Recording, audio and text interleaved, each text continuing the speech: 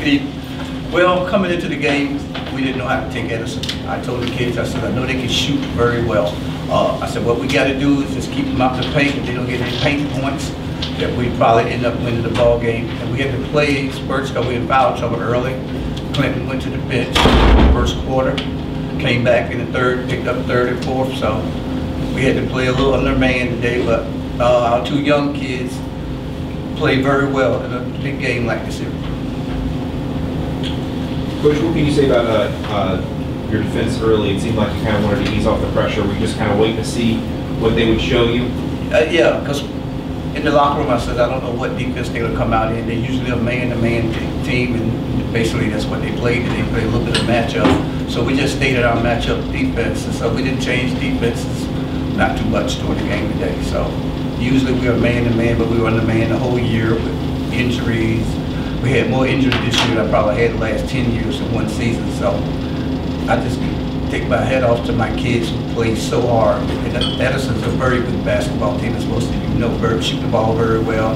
But I thought at the end of the day, we had played better competition along the way. and It made us the top dog today. Mahogany, that second quarter was big for you. What was working for you especially in the second quarter? Um, I think remaining aggressive, you know, making sure that you hit open shots and just taking care of the ball. Um, making sure, you know, no easy turnovers, playing good straight up defense and less fouling. Brianna, all day you were confident in the paint today, so what did you see in the defense that you're able to take advantage of? Um, they kept leaving me one-on-one. Usually I'm double teamed, but we spread the court so that either Paul or myself could post up. And for each of you girls, uh, going out with four titles to end your senior career, what is that like and how do you, how are you look back on your PA career? Um, you know, I'm going to look at it in a very bright way, um, making history, you know, not only for girls basketball, um, being the only team in the state to have six for boys basketball as well. Um, you know, it's just, it means a lot to me, you know, being, part of this legacy. It means a lot to me too. Um, I came over in junior year not knowing how I could gel into the team, but Coach Dozier definitely helped me out, put me in my spot. I'm just glad to have Coach, what can you say about each of these girls and how you've seen them grow and develop in the time? Oh, man. When she came in the ninth grade, I, I said, this kid ain't gonna make it. This kid ain't gonna make it, you know. But her dad was a great basketball player, as we all know. And I knew she had the roots, and she would play with the right type of kids that would push her. She didn't want to be left back, you know. And so, right there, she's probably one of the better players in the state, I would say.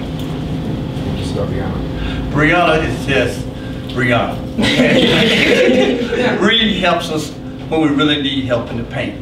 You know, I, I'm gonna miss her a lot. You know, Um she, she she rebounds for us.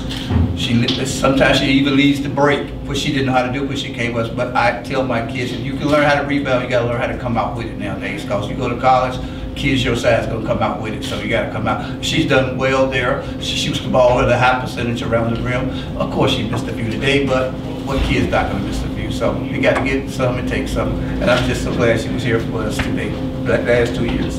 I know you said all the teams are special, but can you pinpoint something that makes this specific team unique? It, it, the unique part is, I let them to all the injuries we had this year. People just don't know how many injuries we had this year where kids just could not play, miss.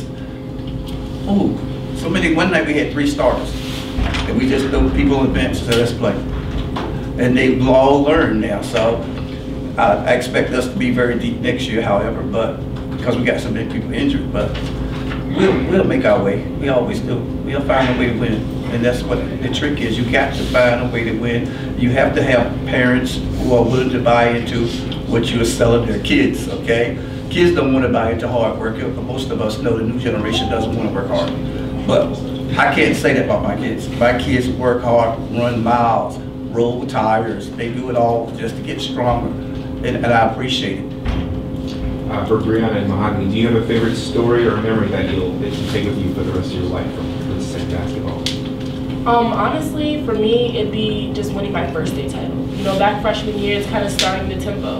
Um, we had just hit winning um, three state chi- titles in a row, and so just keeping that and continuing the streak, that's, I guess that'd be my favorite memory.